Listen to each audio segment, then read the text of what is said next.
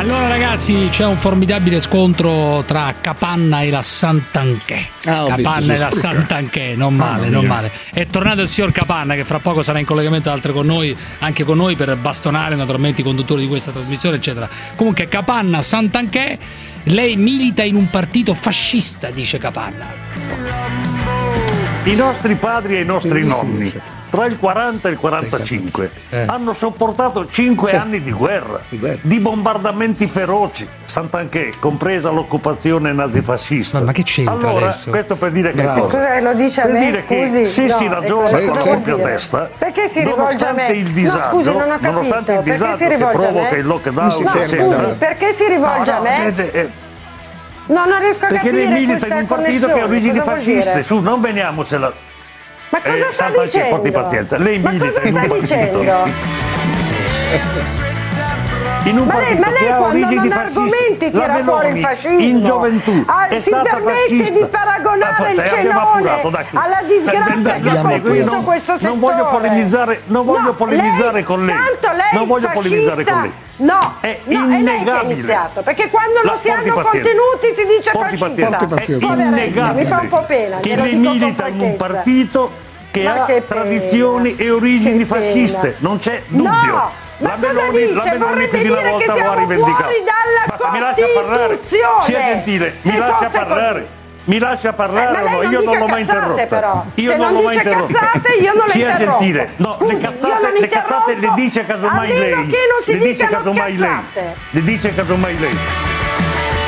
No, no, la gentile. lei, Allora, perché vorrebbe parlare. dire che noi Sia come Fratelli gentile, d'Italia non, siamo non fuori dalla profitti del Costituzione. fatto che è donna. Non c'è il fascismo. Non profitti del fatto che è donna. Mi lasci parlare. Io non voglio darle, No, ma cosa- dirle ma- delle ma parolacce o degli improperi, però mi lasci parlare. Lei sta Ma farneticando. mi lascia parlare, ho semplicemente ricordato un fatto storico, punto. Può piacere o non piacere, ma questo è il punto. Dio, ma stiamo parlando allora di un'altra dicevo, cosa. No, Una società non è di un fragili. fatto storico, scusi Ancora. Sant'Anché, non ma è un stia fatto zitta. storico. Fratelli d'Italia è un ma partito zitta. costituito Ma con le zitta? prerogative che dice la nostra Barbara, Costituzione. porta pazienza. Perché O- lei o la dice zittisci cazzate. tu.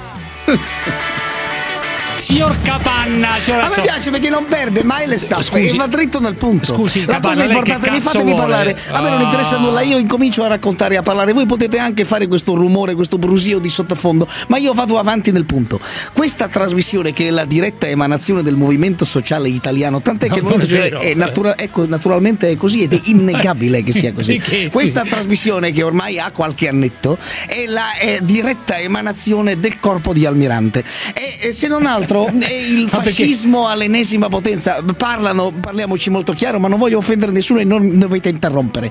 Parlano in questa trasmissione nell'ordine negazionisti, neonazisti. Eric Pribke in passato il suo avvocato Sì, qui ha letto sì. il suo testamento. Allora è inevitabile che ormai questo connubio tra il grande capitale, vale a dire la Confindustria, e il neofascista che guida questa trasmissione, che si chiama Giuseppe Cruciani, che più volte naturalmente ha rivendicato il diritto di intervistare dei neonazisti, Certo, assolutamente, sì. fa sì questo cocktail esplosivo che questa trasmissione è, per la proprietà transitiva, una trasmissione di neonazisti. Ora vi dovete chiedere che cosa farebbe Mario Capanna negli anni 70 Con qualora questa- si trovasse sì. davanti a Alla una sedia, trasmissione sì. di questo tipo.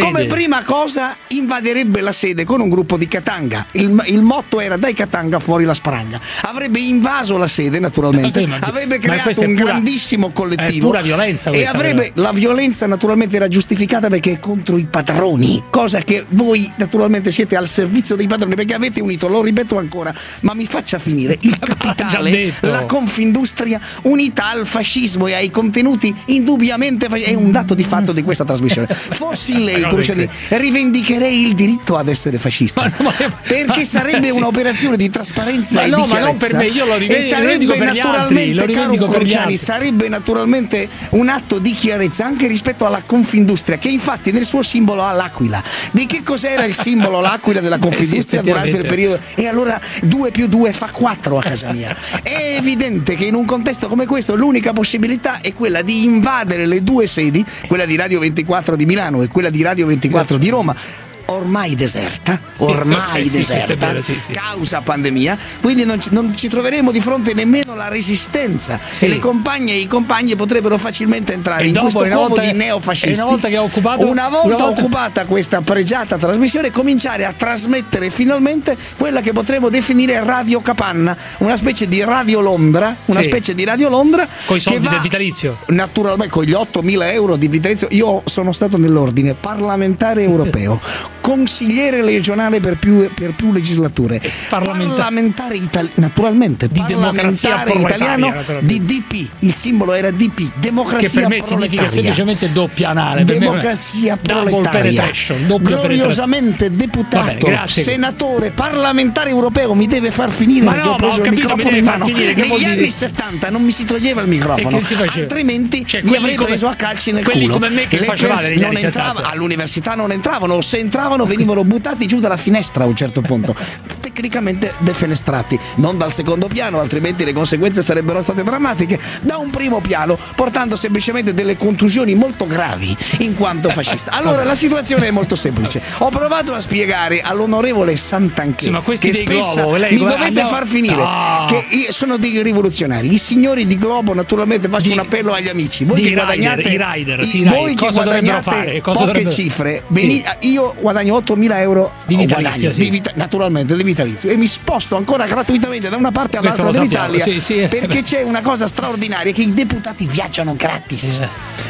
Ora, questi, si dovrebbero fare i rider? Occupare... Dovrebbero dare anzitutto fuoco ai locali che gli danno da mangiare per trasportare, eh, perché l'unica forma di protesta è quella della violenza. Ma ho Il capito, però- capitale è violento? Il capitale è violento. Il capitalismo genera sangue, morti e capito, violenza. questi Noi qua- dobbiamo generare la violenza. Allora, voi prendete le vostre biciclette, questo è l'insegnamento che vi voglio dare. Quando vi dicono Eh. devi consegnare questo al signor Cruciani sì. e ti daranno 10 centesimi per quella consegna, Sì. tu prendi la pietanza, la metti dentro quella specie di frigorifero che dovrebbe tenere Sì, calde sì. quelle orribili pietanze che ti arrivano a casa, prendi la bicicletta e gliela scaraventi contro il negozio. È un grande atto rivoluzionario, è un atto che mette il padrone nella condizione di dover co- ricostruire la vetrina No, perché ha il negozio danneggiato.